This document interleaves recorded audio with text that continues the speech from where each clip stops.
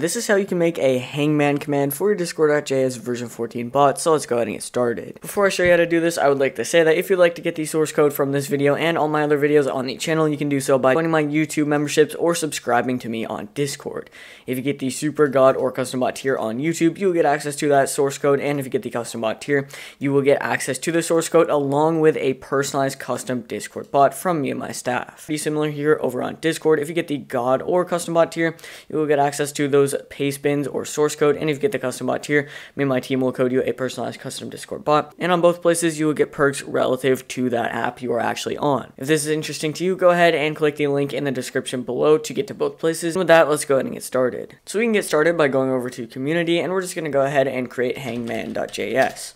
In here, we can do const, and we're going to get our slash command builder. And we can do equals require, and we're just going to get discord.js. And we can do const hangman, and then we can do equals require, and in here, we're going to get a discord dash game cord. You are going to need to do npm i discord game cord in your terminal for this to work. We come down here and do module.exports equals. We'll go ahead and open this up. We can do data, and this is going to be new slash command builder. We can go ahead and set a name, and this is going to be hangman. We can go ahead and set a description, and in here, we can say play a game of hangman we can add a comma and we're going to do async execute and we can do interaction and then we can just go ahead and open this up. We can come down here and do const capital game and we can do equals new hangman and we can just go ahead and open that up. In here we're going to do message and we're just going to go ahead and set that to interaction. We can do comma, we're going to do embed and we're just going to go ahead and edit this embed within the game package. We're going to go ahead and set a title and that is going to be hangman. Then we can set a color and you are going to have to import a color hex code. So for me I'm just going to go ahead and copy this. You can do whatever you want, just look that up on Google. Make sure you go ahead and add a comma after the title as well. We can add a comma here. We're going to come down here and we're going to go ahead and say hangman.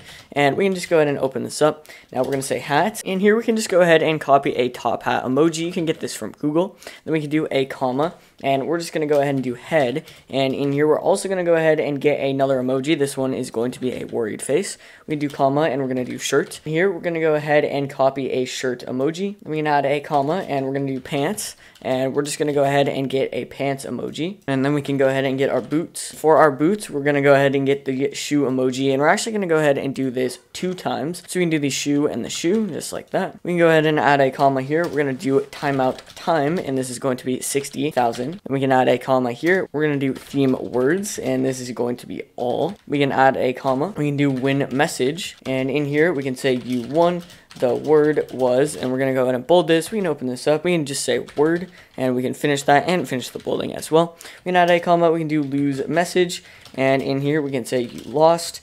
The word was, we'll bold this, and we can do word, and we'll finish this off, and finish off that bolding as well. We can add a comma here. We can come down here, and we're going to say player only message, and we're going to say only, and we'll open up player, and we'll close that off.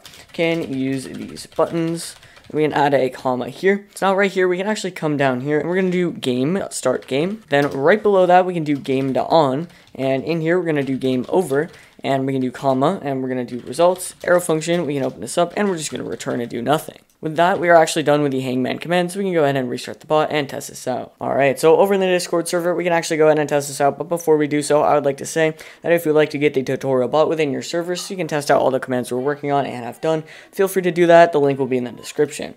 We can go ahead and do slash hangman, we can just go ahead and send it, and as you can see here, it's going to go ahead and make a hangman game. So I can just guess as many letters here as I would like to guess, and as you can see, every time I guess, it's either going to put one in here, or it's going to put it in the letters guessed and give me a emoji as the hangman would. So I can just keep guessing here, and I actually put some of these in, so we can just keep guessing, and as you can see, it's going to say the word was orange because I guessed too many letters. It also did make a full man, and that's how you know it's done. So we can try this one more time, so we'll send that, we'll do A, E, I, we can do maybe C, and you can also press these buttons. You can go ahead and guess O, maybe we can do U, I don't know, I'm not really trying as you can see, um, but you can press the buttons to go back and forth, and as you can see here, I failed, obviously, I wasn't really trying, but it does work pretty well. You can also use that stop button if you would like. So that's how you can make a hangman command for discord.js version 14 bot. If this worked for you, feel free to leave a like and subscribe. If you need any help, go ahead and join the server in the description below, and you should just go ahead and join that anyways, because this is a pretty good community server for Discord coding. And with that, I'll see you guys in the next video.